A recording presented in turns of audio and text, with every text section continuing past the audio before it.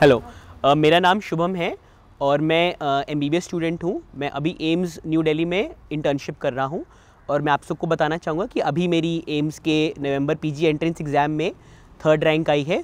उसके अलावा मेरे एमबीबीएस में जब मेरा एंट्रेंस था 2012 में तब मेरी एम्स में 15 रैंक आई थी और यू पी में मेरी फ़र्स्ट रैंक आई थी। तो मैं आप लोगों को थोड़ा गाइड करना चाहता हूँ। जितने भी ग्यारहवीं के बारहवीं के स्टूडेंट्स हैं, जो भी मेरा इंटरव्यू देख रहे हैं, मैं आपको थोड़ा बताना चाहूँगा कि कैसे एम्स के लिए और बाकी एम बी एंट्रेंस एग्ज़ाम्स के लिए प्रिपेयर करना है। तो एलेवेंथ में आके, ग्यारहवीं में आके हम अब सोचते हैं कि हमें क्या करना है लाइफ में आगे क्या करना है और बहुत सारे लोगों का मन करता है डॉक्टर बनने का आगे।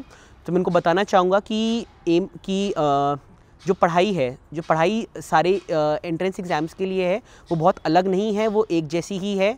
आप एम्स के लिए कर रहे हो या फिर नीट के लिए कर रहे हो, किसी भी के लिए कर रहे हो, वो सारी एक जैसी ही है। अलग अलग आपको प्रिपेयर नहीं करना है और दो साल के लिए कोचिंग भी कर सकते हैं आप, एक साल के लिए भी कर सकते हैं और जो लोग कोचिंग नहीं भी कर सकते हैं, उनको भी मैं बताना चाहूँगा कि आवश्यक नहीं है कि हम कोचिंग करें, उसके बिना भी हम अपनी किताबें अच्छे से पढ़ें तो फिर हम कोई भी एग्ज़ाम निकाल सकते हैं।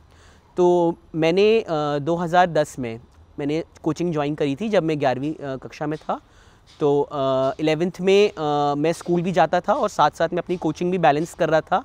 तो आ, ये थोड़ा डिफ़िकल्ट हो जाता है बट अगर आप कोचिंग हफ़्ते में दो दिन जा रहे हो या तीन दिन जा रहे हो मैक्सिमम या फिर सिर्फ़ सैटरडे संडे जा रहे हो तो ये इजीली मैनेज हो जाता है।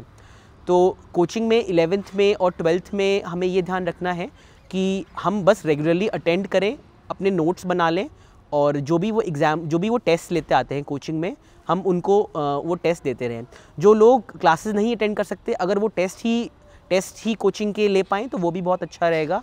वो जो टेस्ट पेपर्स होते हैं और वो जो टेस्ट से आपकी रैंक बताते हैं, उससे आपको थोड़ा आइडिया लग जाता है कि आप कहाँ पे स्टैंड करते हैं। उसके अलावा स्कूल की जो पढ़ाई होती है, वो भी मेरे हिसाब से इग्नोर नहीं करनी चाहिए।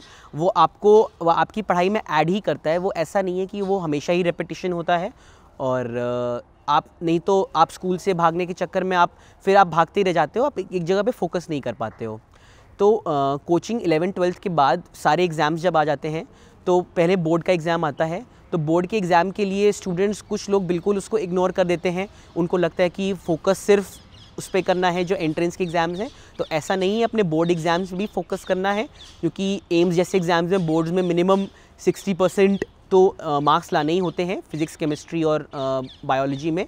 तो ये इंपॉर्टेंट है कि हम अपने बोर्ड एग्ज़ाम पे भी फोकस करें और बोर्ड एग्ज़ाम के साथ साथ ही हम जैसे ही एग्ज़ाम ख़त्म होते हैं, बहुत सारे टेस्ट करने लगे और फिर फाइनली जो तीन फाइनली जो एग्ज़ाम्स आ जाते हैं, उसके लिए हमें एक लास्ट मिनट रिविज़न करना है, उसके बाद फिर एग्ज़ाम्स देने हैं।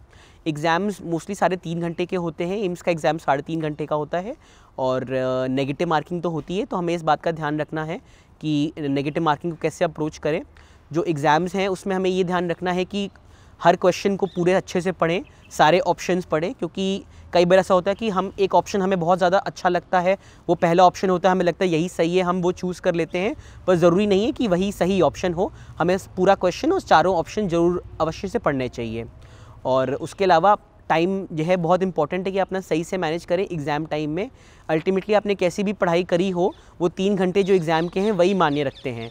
तो आपको एग्ज़ाम टाइम में अपना टाइम सही से मैनेज करना है। अगर जो भी अब एग्ज़ाम्स अब सारे ऑनलाइन हो गए हैं तो ऑनलाइन एग्ज़ाम में आपको ये ध्यान रखना है, वहाँ पे टाइम दिखता रहता है कि आप अपने टाइम देखते रहो, सही स्पीड से आप जो है क्वेश्चन चूज़ करते रहें आंसर्स चूज़ करते रहें। उसके अलावा जब प्रिपरेशन की बात है तो मैं एक चीज़ एम्स के लिए ये बोलना चाहूँगा कि एम्स में एन बुक्स e बहुत ज़्यादा हैं इंपॉर्टेंट पढ़ने के लिए स्पेशली बायोलॉजी के लिए। बायोलॉजी के लिए जो दो एन बुक्स e हैं, उनसे बाहर क्वेश्चन एम्स में शायद ही आते हैं। फिज़िक्स केमिस्ट्री बायो में साठ साठ क्वेश्चन होते हैं, तीनों में साठ क्वेश्चन होते हैं। बायोलॉजी में मुश्किल से चार पाँच क्वेश्चन ही होते हैं जो एन e के बाहर से आ जाते हैं। एन एक बहुत ही आसान किताब है पढ़ने के लिए।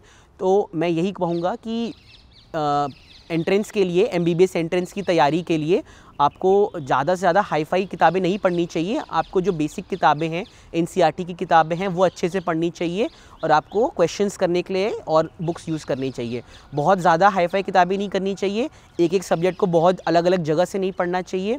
अगर आपने कोई कोचिंग लगाई अपने कोचिंग के नोट्स करिए, पुराने क्वेश्चन करिए एन e पढ़िए, उतना ही काफ़ी हो जाएगा एग्ज़ाम के लिए। एक चीज़ मैं ये बताना चाहूँगा कि कई लोग मेरे से ये भी पूछते हैं कि कितने घंटे पढ़ाई करनी चाहिए रोज़?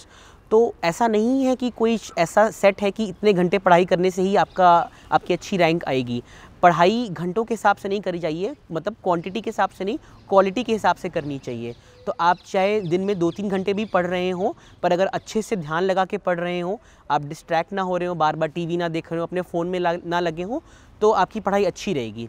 तो और एक सेट टाइम टेबल होना चाहिए। ऐसा होना चाहिए कि आप उसी टाइम पे रोज़ पढ़ाई कर रहे हो और जिस समय पढ़ाई कर रहे हो तो आप और कुछ काम ना कर रहे हो। एक साथ मल्टीटास्किंग नहीं करनी चाहिए। अगर आप पढ़ाई करें उसी पे फोकस करना चाहिए। और जो आपका टाइम टेबल है, आप जिस चीज़ से कंफर्टेबल है, वही फॉलो करना चाहिए। दूसरों का टाइम टेबल कॉपी करने की कोशिश नहीं करनी चाहिए। ये नहीं देखना चाहिए कि मेरे साथ वाला कितना ज़्यादा पढ़ रहा है, वो क्या पढ़ रहा है। उससे ज़्यादा परेशान नहीं होना चाहिए, उससे ज़्यादा आपका स्ट्रेस बढ़ता है। आप खुद जिस चीज़ में कंफर्टेबल हैं, वही फॉलो करना चाहिए। जितने भी फ्यूचर एस्पिरेंट्स हैं एम बी के लिए I would like to wish them all the best and daily daily knowledge track पे आप मेरा ये इंटरव्यू देखिए एंड आपके कोई भी डाउट्स हो क्वेश्चन हो तो आप कमेंट सेक्शन में पूछिए एंड uh, मैं उसका आंसर वहीं वहीं करूँगा। एंड uh, आप कोरा पे भी मेरे से क्वेश्चन पूछ सकते हैं I answer those doubts there and I would wish you all the best and do subscribe to daily knowledge track